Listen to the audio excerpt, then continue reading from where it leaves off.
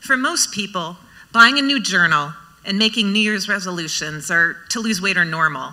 But there is nothing normal about your compulsion to lose weight. You buy a marked down Christmas journal with a candy cane striped cover and start keeping yet another food diary. A secret one, yes, one in, but one in which you also lie to yourself. You pause, then write, I might have some issues with food, maybe. After that, just, just in case someone like a homicide detective or your mom are reading this in some future world where you are dead or missing, um, you write, I just eat and snack too much. You picture that good looking actor who plays a detective on one of those hour long TV mysteries that are always on cable. He will hold this candy cane striped journal in his long, slender fingers. He will read this and understand you are not crazy. It doesn't matter that doctors have never labeled you overweight. Something has warped inside you and you feel fat. You look fat in the mirror. You want to be skinnier. You record your breakfast, lunch, and dinner items with their calorie counts listed in your candy cane journal, and you lose a few pounds in two weeks. Hooray! but it's not enough. You want to lose more weight. You slash your calorie intake to an unhealthy 900 calories a day and start substituting Diet Cokes, chewing gum, and black coffee for food. It backfires. You're starving at 10 a.m. and you eat your lunch two hours early. You hate losing control like this, but it only gets worse. By 5 p.m., you're starving again, and your snack of four crackers turns into 40 crackers, plus tortillas, plus a yogurt. You write the food items down, but leave out the quantity. You do not need to be specific in writing. You know how much you ate. That week, the bathroom scale says you've gained three pounds. What is going on that I can't lose weight? You write that in the journal. It's a, it's a slight white lie that you've included for the benefit of that handsome detective. He's going to read this and shake his head slowly, full of empathy for your struggle. Months pass like this. People notice you're tired and grumpy nearly constantly. Acne scars the pasty skin around your lips and cheeks.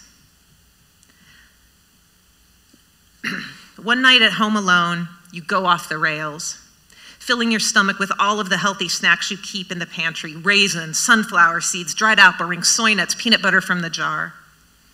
You cannot stop eating until empty packages fill the trash can and nothing is left on your kitchen shelves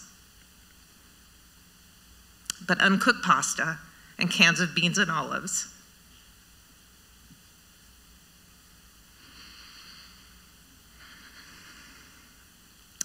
You write every item down, but you leave out the quantities and the calorie count. I know I ate too much. You take the trash out immediately so you don't have to see the evidence, and you drink a bottle of wine to forget about it and the detective's concerned face. Throwing it up is the easiest way to solve the problem. You avoid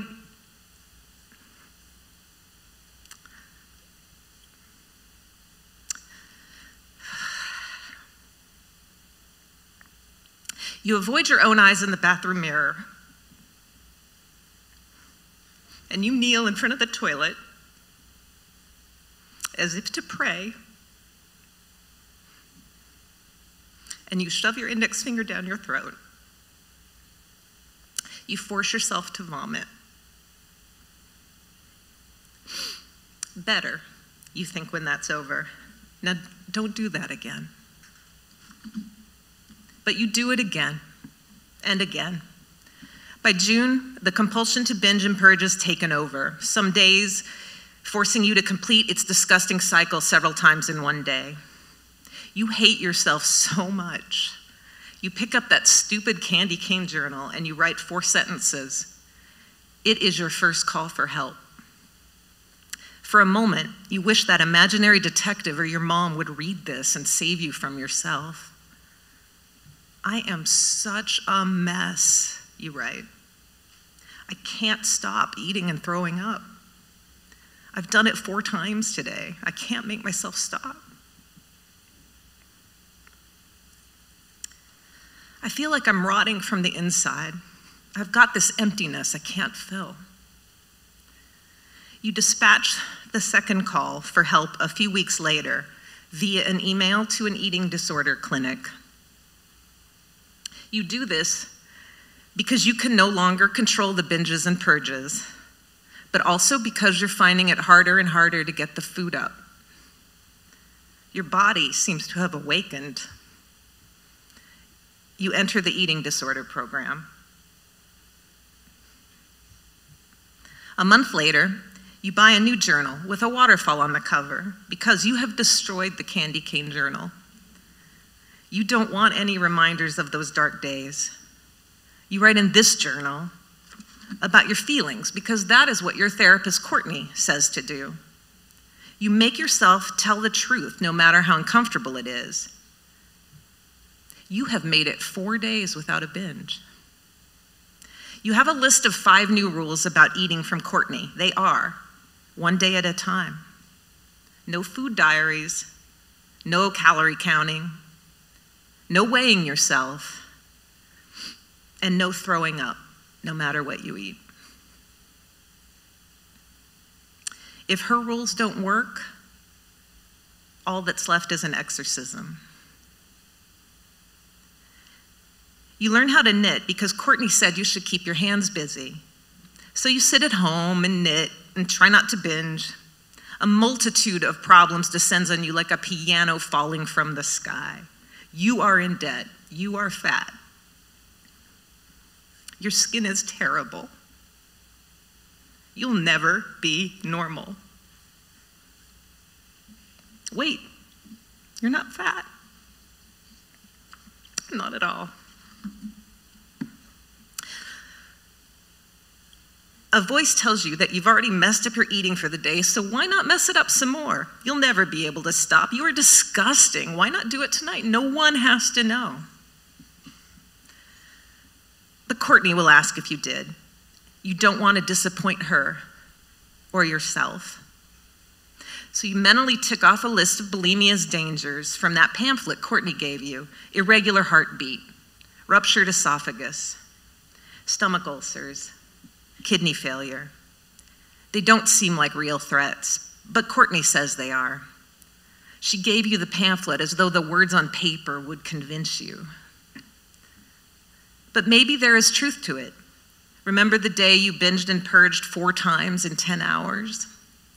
How your heart knocked against your chest for what seemed like hours?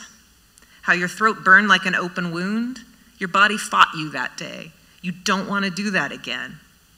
Pick up your pen and write how you feel in the journal. I feel anxious. I feel numb.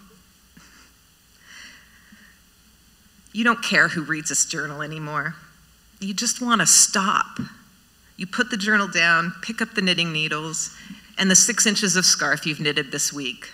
Make a stitch. Now make another one. The soft rhythm of clacking needles and the scratchy soft feel of the wool as your meditation. One stitch at a time.